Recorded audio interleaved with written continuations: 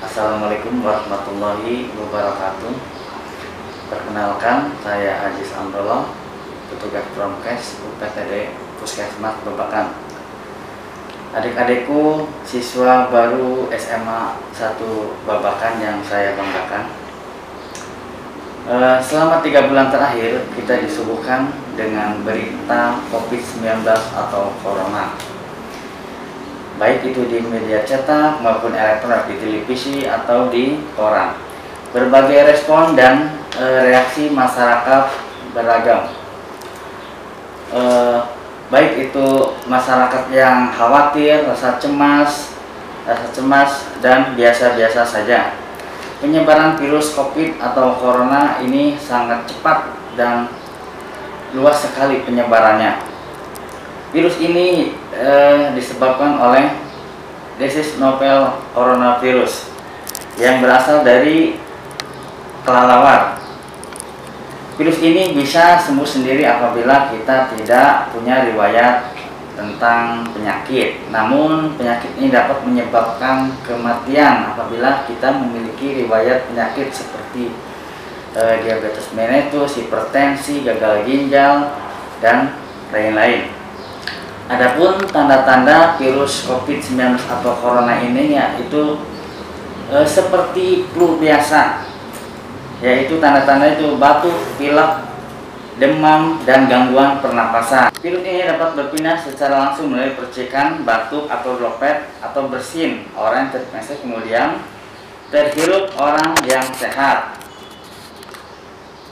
Kunci dalam menghadapi virus COVID-19 atau corona itu kita harus tenang dalam arti kita harus tenang dalam menghadapi virus corona ini. E, ketenangan itu adalah modal utama kita terhindar dari virus corona. Ketenangan itu adalah virus COVID-19 atau corona ini yaitu batuk, pilek, flu, demam, gangguan dan pernapasan. Tanda-tanda gejala virus ini sama dengan flu biasa mau dibedakan apakah kita berpergian apa tidak. Virus ini dapat berpindah berpindah secara langsung melalui percikan batuk atau droplet orang yang terinfeksi virus corona melalui udara. Kunci dalam menghadapi virus COVID-19 atau corona yaitu kita tenang. Apabila kita tenang, imunitas kita akan terjaga. Apabila kita rasa takut, cemas, imunitas kita akan menurun sehingga berbagai penyakit eh, penyakit akan merasuk ke kita sama dengan penyakit COVID.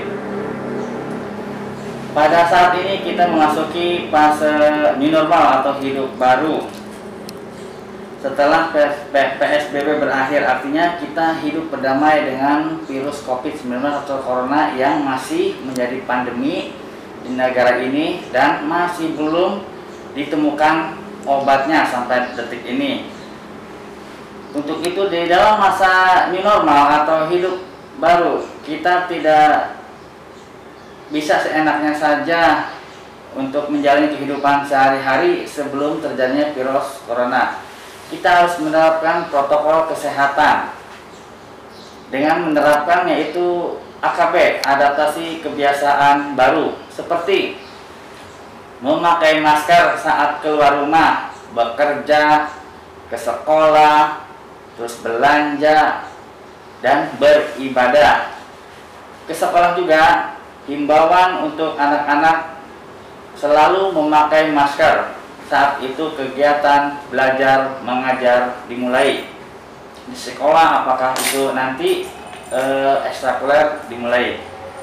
Yang selanjutnya yaitu cuci tangan memakai sabun dengan air yang mengalir. Setelah melakukan aktivitas baik itu di dalam e, ruangan maupun di luar ruangan. Setelah memegang memegang barang-barang yang ada di luar ruangan kita tahu di tempat-tempat umum telah tersedia yaitu tempat cuci tangan saat ini seperti di masjid, pasar, puskesmas, dan pusat pembelanjaan.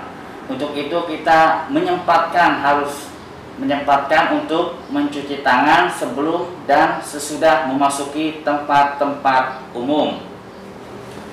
Yang selanjutnya itu jaga jarak aman dengan orang lain minimal 1 meter antar teman. Yaitu saat kegiatan belajar juga kita harus jaga jarak. Tetap jaga jarak.